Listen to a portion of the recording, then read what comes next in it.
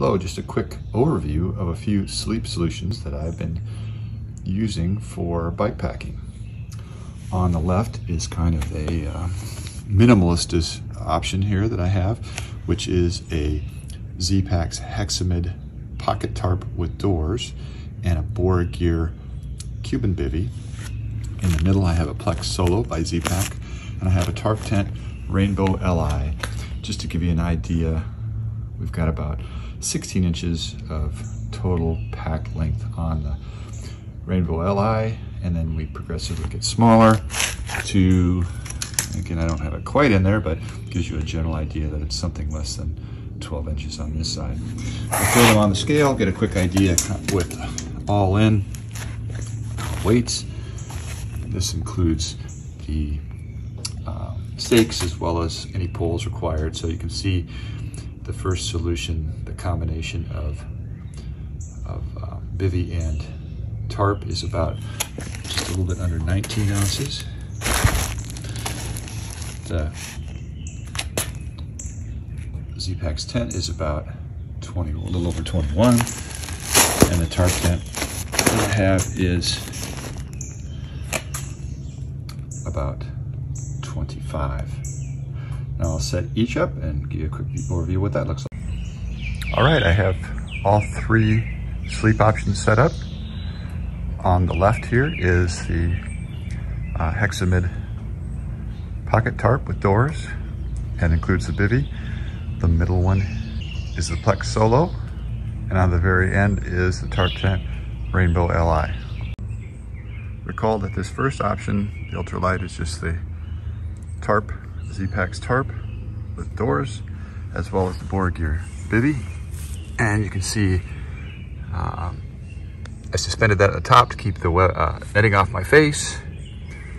It uh, does have a Dyneema floor in it. The Borah Gear um, top part of this bivy is water resistant but not waterproof so potentially you could get some moisture in it uh, I've not had any issues with it so far, but you know, I suppose if it rains hard enough, you could get some splash up in that far corner. But overall, this is a really, has been a good ultralight option and a very packable option for me so far.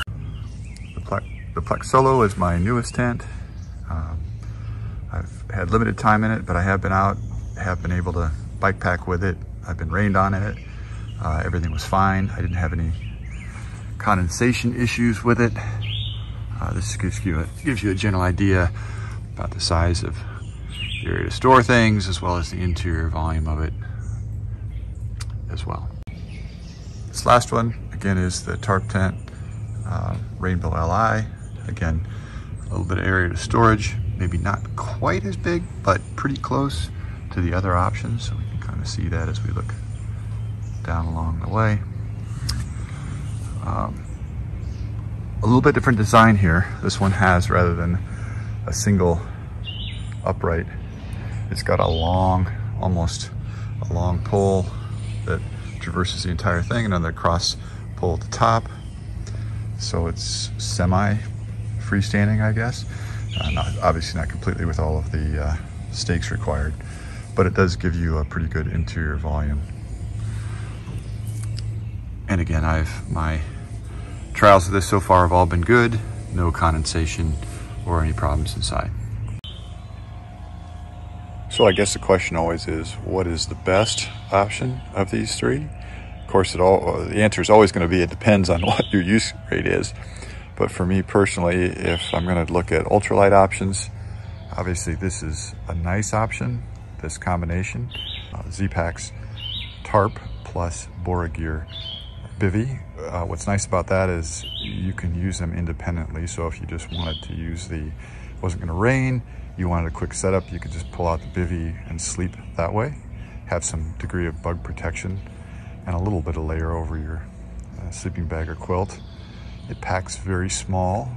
And for me, that's a pretty uh, important thing, maybe more so than the weight factor. It's just nice having something that uh, um, doesn't take up a lot of space in my bag. Um, I guess we'll go next to the Tarptent. The Tarptent LI overall, I think it uh, probably is the best designed tent here in terms of um, overall usable space in terms of headroom because of the way that um, overall the pole goes over the top. Um, I like that it comes down a little bit lower in the front in terms of uh, the vestibule area. I um, just small design things like little magnetic clips are nice. It makes it easy to roll up the sides. And it also has a couple more ventilation near the top that the others do not have. But again, I've not had really condensation issues with any of these so far. Um, the Plex Solo, I think it's just a really nice overall tent. And frankly, if I had to choose just one of these, it would probably be the Plex Solo. And the reason is it just uh, gives you uh, a great amount of protection it packs up just a little bit smaller than the Rainbow Li. The, the biggest challenge with this particular tent is just that with that long pole that gives you a little bit more headroom, it was a little bit nicer. It's just a little bit longer. For me and my situation, that's not really a big deal. Um, what you find sometimes is with cyclists who have small that are smaller and have smaller frame sizes, they may not have enough length for that pole, like in a um, frame bag, but it works fine for my application. Um, again, overall, they're all great options. Uh, just some small nuances between them. In terms of setup, I would say that the um, easiest and probably the fastest is the uh, Tarptent, Rainbow Li. And these two set up very similar.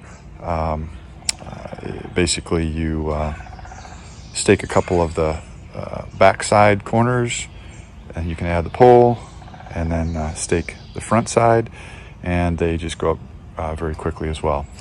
Uh, but overall, all three great options for bike packing. I'm sure they'd be great for um, backpacking as well.